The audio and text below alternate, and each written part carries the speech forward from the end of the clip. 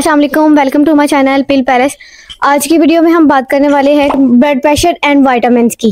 कुछ vitamin and minerals ऐसे भी होते हैं जो आपको ब्लड प्रेशर कंट्रोल करने में मदद देते हैं। ब्लड प्रेशर को लो करते हैं, यानी नॉर्मल करते हैं। जिन लोगों का ब्लड प्रेशर फ़र्स्ट स्टेज पर होता है, यानी 130 140 तक होता है, वो अगर वाइटामिन खा लें तो उनको फ़ायदा हो सकता है। ज़रूरी नहीं है कि वो इसकी मेडिसिन लें। अगर अर्ली स्टेज में होगा तो आप उसको कंट्रोल कर सकते हैं। और जिन लोगों का ब्लड प्रेशर ऑलरेडी है तो आपने सेल्फ मेडिसिन नहीं करनी डॉक्टर से कंसल्ट करके खाएँ तो उनकी जो डोज है मेडिसिन की वो कम हो जाएगी। आज की वीडियो में हम छह ऐसे वाइटामिन एंड मिनरल्स की बात करेंगे, जो ब्लड प्रेशर को नॉर्मल करने में हेल्पफुल हो सकते हैं। सबसे पहले है पोटाशियम मिनरल है, जिन लोगों में पोटाशियम की डेफिशिएंसी होती है, उनमें बहुत ज़्यादा चांसेस होते हैं कि उनका ब्लड प्रेशर हाई हो। अगर आपकी बॉडी में पोटाशियम जो है, वो पूरा है, वो पोटाशियम का लेवल जो है, वो नॉर्मल है तो वो सोडियम को आपकी बॉडी से किडनी के थ्रू निकालने में मदद करता है। तो अगर आप में पोटाशियम की डेफिशिएंसी है तो यकीनन आपका ब्लड प्रेशर हाई होगा। लेकिन ये है कि जिन लोगों का ब्लड प्रेशर हाई होता है तो वो कम अज कम छः माह में अपना ब्लड पोटाशियम लेवल लाजमी चेक करवाएँ। बहुत से लोगों को इस तरफ़ ध्यान नहीं जाता। दूसरा है वाइटामिन के फैट होता है, आप खुराक खाते हैं, खास तौर पर पर डेयरी प्रोडक्ट्स होती हैं या फिर आप कैल्शियम के सप्लीमेंट्स ले रहे हैं तो वाइटामिन के जो होता है, ये कैल्शियम को ब्लड वाल से निकाल कर आपकी हड्डियों तक ले जाता है। विटामिन के की डेफिशिएंसी अगर हो आपकी बॉडी में तो ब्लड वाल की कैल्सिफिकेशन हो जाएगी और ब्लड प्रेशर जो है, वो हाई होने के चांसेस ज़्यादा होते हैं।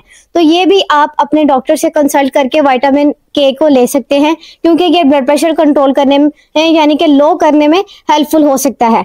तीसरे नंबर पे है ओमेगा थ्री फैटी एसिड होते हैं D H A P A ये जो फैटी एसिड होते हैं फ़िश ऑयल होता है एंटी इन्फ्लेमेटरी होते हैं। आपकी जो ब्लड वॉल्स होती हैं ब्लड वेसल्स आर्टरीज होती हैं, उनकी इन्फ्लेमेशन को कम करता है। तो जब वो रिलैक्स होती हैं तो ब्लड फ्लो में आसानी होती है। ब्लड सर्कुलेशन को इम्प्रूव करते हैं और इनकी जो कॉन्स्ट्रिक्शन होती है, उनको कम करते हैं। ये भी आपकी जो है, आपके लिए हेल्पफुल हो सकता है। ब्लड प्रेशर कंट्रोल करने में मदद कर सकता है। इसके अलावा भी अगर हार्ट डिजीजेज हैं, किसी भी किस्म की हार्ट डिजीजेज हैं कोरोनरी आर्टरी डिज़ीज़ है या हार्ट अटैक या इस तरह के कोई भी चांसेस हैं तो उनको कम करने की कोशिश करता है। इसमें जो गुड कोलेस्ट्रॉल होता है एच इसको बढ़ाता है। और फोर्थ नंबर पे है सी ओ क्यू टेन ये आपकी बॉडी में नेचुरली होता है, ये नेचुरल एंटीऑक्सीडेंट होता है तो ये भी आपकी जो ब्लड वेसल्स की इन्फ्लेमेशन होती है उनको कम करता है।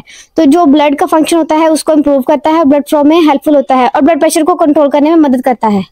पाँचवें नंबर पे है मैग्नीशियम। ये मिनरल है, ये मसल रिलैक्सेंट होता है। आपकी जो ब्लड वेसल्स होती हैं, उनको रिलैक्स करता है।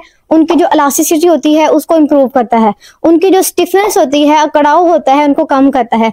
और ब्लड फ्लो में हेल्पफुल होता है और इसके साथ साथ ब्लड प्रेशर को कंट्रोल करने में हेल्पफुल हो सकता है।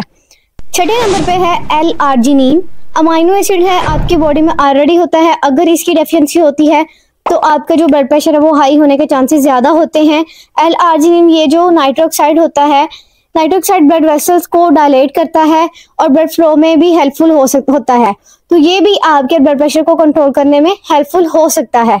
इनको आप ले सकते हैं, लेकिन जो लोग मेडिसिन खा रहे हैं जिन लोगों का ब्लड प्रेशर हाई होता है, एक सौ पचास से ऊपर होता है, वो अपने डॉक्टर से मशवरा लाजमी करें। तो हो सकता है कि अगर आपकी जो मेडिसिन है, उनकी डोज ज़्यादा आप ले रहे हैं तो उनकी डोज में कमी हो सके।